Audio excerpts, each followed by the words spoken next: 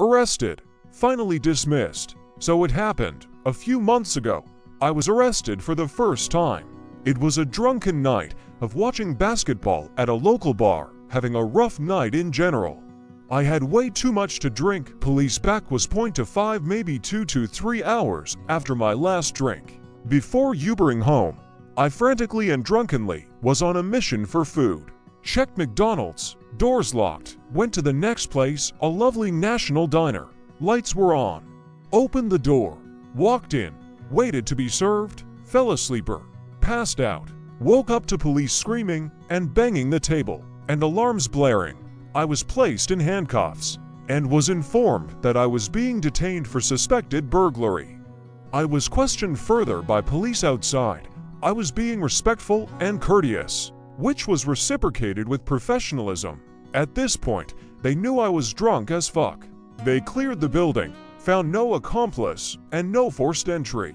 The concluded the door was just unlocked, and I walked in. Police tried to get it back here.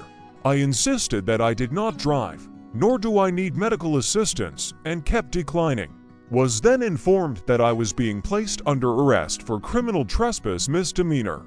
Second degree, police conducted a thorough search and ripped the laces off of my Jordans. Cuffs were loose, as I was being complained. The officer who transported me said they would write the fact that I was being cooperative in the report. Maybe this helped later. Upon reaching jail, the officer said putting a back in the report would help me. I fell for it. That's when I found out I was at a point to five. After the rest of the night in jail, which felt like a DMV. No cells, large room, TVs, bathrooms. I saw a judge and was released on my own recognizance. I immediately hired a lawyer.